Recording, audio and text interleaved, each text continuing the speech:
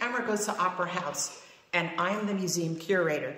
For many of you who know the story, we had a drunk driver wreck a wall, and with the help of the Ruth Foundation, we found a way to take a mural that hasn't been seen in over 13 years and bring it to life. So here we go.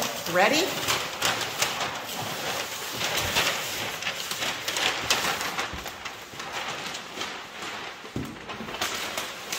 Voila!